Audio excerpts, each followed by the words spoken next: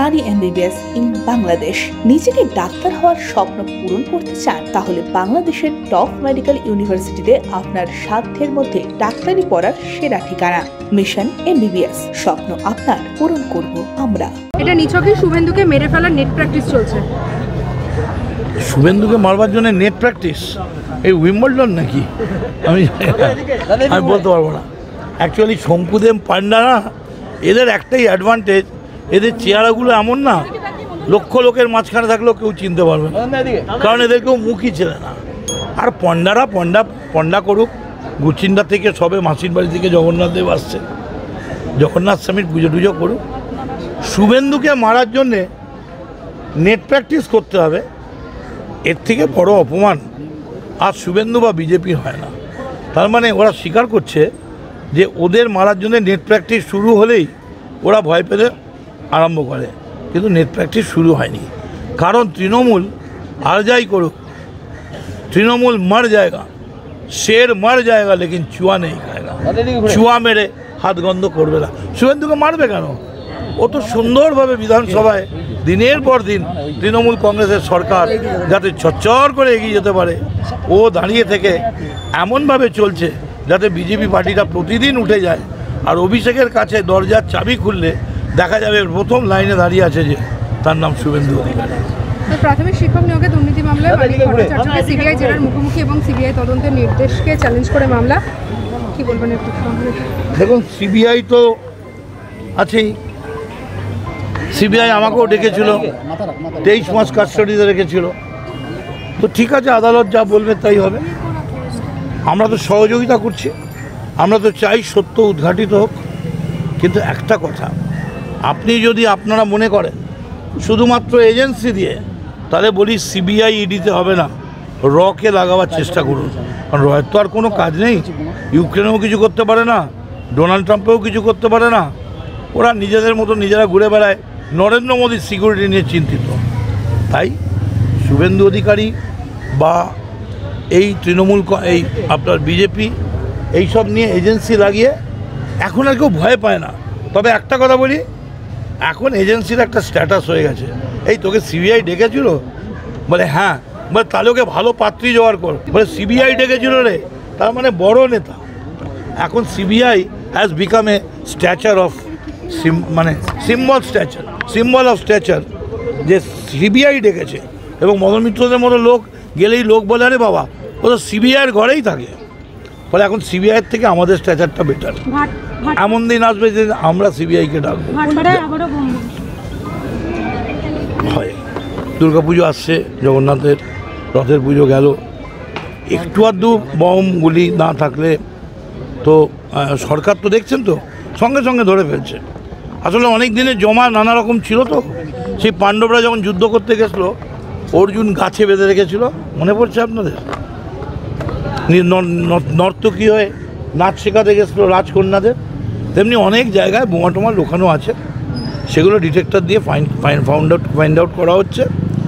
তবে এইটুকুন আমি বলতে পারি পাটপাড়া আর ম্যাক্সিমাম বাহাত্তর ঘণ্টা।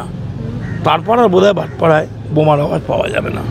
কারণ প্রশাসন আরও কঠোর হয়ে গেছে। উলুবেড়িয়ে আবার বিদ্যুৎস্পৃষ্ট হয়ে মৃত্যু হয়েছে। একজন আশি বছরের বৃদ্ধের মৃত্যু হয়েছে। বারংবার কেন রাজ্যের এরকম বিভিন্ন প্রান্ত থেকে এরকম ধরনের খবর আসছে? দেখুন এটা অত্যন্ত দুঃখের। উদাসীনতা আমি মানব না।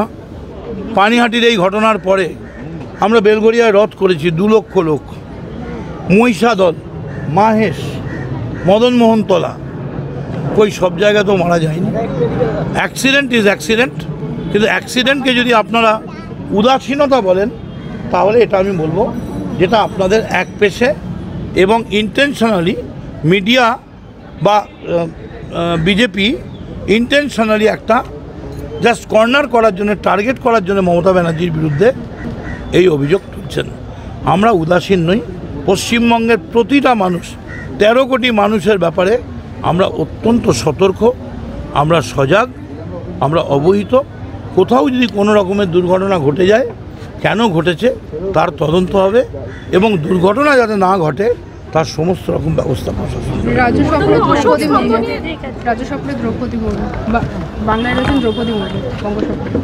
আচ্ছা ভালো তো। এবং আমাদের মমতা ব্যানার্জি প্রথম দিনই বলেছেন না যে যদি দ্রৌপদী মুর্মুকে করব জানতেন যা আমাদের যদি জানানো হতো তাহলে আমরা অন্যভাবে চিন্তা করতাম। ভালো তো। আসবেন রাষ্ট্রপতি ক্যান্ডিডেট আঠেরো তারিখ তো ভোট আছে। আমাদের দল নির্দেশ দেবে, আমরা ভোট দেবো। আর বাংলায় যে কেউ আসতে পারেন, বাংলা সবাইকে স্বাগত জানাচ্ছে। বাংলায় সবাই স্বাগত।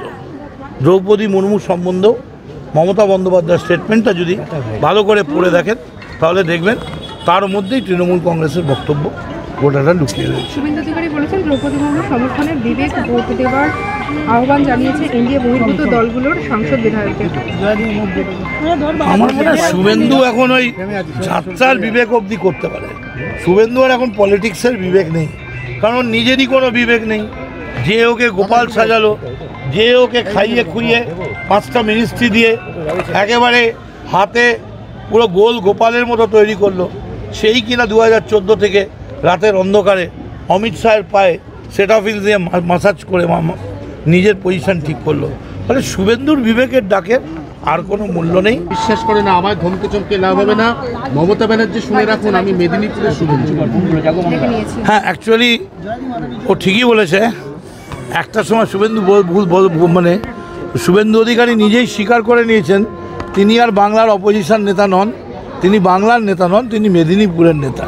অর্থাৎ এটা আই কংগ্রেচুলেট শুভেন্দু, যে দেরিতে শুভ বুদ্ধির উদয় হয়েছে, ও যে বাংলার নয়, ও যে বাঘ নয়, ও যে ধাপে ধাপে উঠেছে, হেলিকপ্টারে নয়, এটাও বুঝতে শুরু করেছে।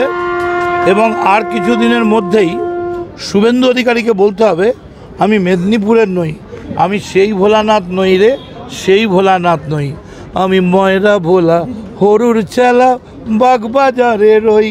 শুভেন্দুকে বলতে হবে আমি সেই শুভেন্দু নই রে, সেই শুভেন্দু নই। আমি কাঁথির শান্তিনিকেতনের শুভেন্দু, শান্তিনিবাসের শুভেন্দু। আমি আমার বাড়ির শুভেন্দু, আমার মায়ের শুভেন্দু। আমাদের কোনো আপত্তি নেই। আর দমকানি চমকানি একটা কথা বলি। মমতা বন্দ্যোপাধ্যায় যেখানে মিটিং করেন, সেখানে চমকাতে গেলে জায়গার নাম হয়ে যায় চমকাই তোলা শুভেন্দু ভাবতেই পারে না। যে একটা মিটিং করলে জায়গার নাম পাল্টে যায়। আর শুভেন্দুকে বলি, পা বাড়িয়ে দিয়েছেন। অলরেডি আপনি যোগাযোগ করেছেন। আমাদের পার্টি এই মুহূর্তে কোনো সিদ্ধান্ত কি করবে আমি জানি না। তবে আলটিমেটলি তৃণমূল কংগ্রেসে জয়েন করা ছাড়া আপনার সামনে আর কোনো পথ খোলা নেই। কারণ বঙ্গ বিজেপি বুঝতে পেরে গেছে।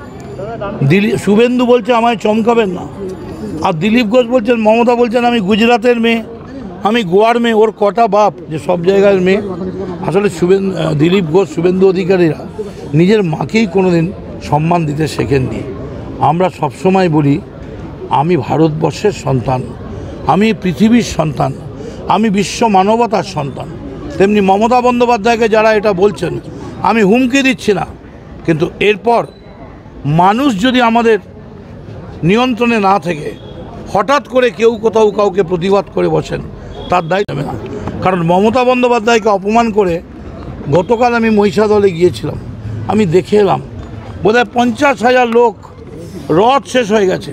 তারপরেও রথযাত্রা লোকারণ্য মহা ধুমধাম ভক্তেরা পথে লুটায় করিছে প্রণাম। রথ ভাবে আমি দে পথ ভাবে আমি। মহিষাদলের রাজবাড়িতে গেলাম। কোথাও দেখলাম না, শুভেন্দু অধিকারীর নাম। ওরা মমতা ব্যানার্জির নাম মেট্রো রেলে দেয়নি। ভাবলো বিরাট অপমান করেছে। হেমত দুর্ভাগা দেশ যাদের করেছে অপমান, অপমানে হতে হবে, তাদের সবার সমান। মমতা বন্দ্যোপাধ্যায় শিয়ালদার ফাউন্ডেশন স্টেন, স্টোন লে করেছিলেন। তার নামটা বাদ দিলে কিচ্ছু হবে না। যদি কাগজে লেখো নাম, কাগজ ছিঁড়ে যাবে। পাথরে লেখো নাম, পাথর ক্ষয়ে যাবে। হৃদয়ে লেখো নাম, সে নাম রয়ে যাবে। শুভেন্দু অধিকারী বাংলা ভারতবর্ষের প্রতিটা মানুষের মনের হৃদয়ের মণিকোঠায় একটাই নাম রয়েছে। আমাদের একনাথ আমাদের লোকনাথ একটাই। তার নাম মমতা বন্দ্যোপাধ্যায়। দিলীপ ঘোষ বলেছেন মমতা বন্দ্যোপাধ্যায় যশবন্ত সিনহার ক্যারিয়ারটা শেষ করে দিলেন। অ্যাকচুয়ালি দিলীপ ঘোষের কথা না? মানে আগে আমি বলতাম আলো মানে ফিলিপ আর পাগলা মানে দিলীপ। কিন্তু এখন তাও বলা যাচ্ছে না।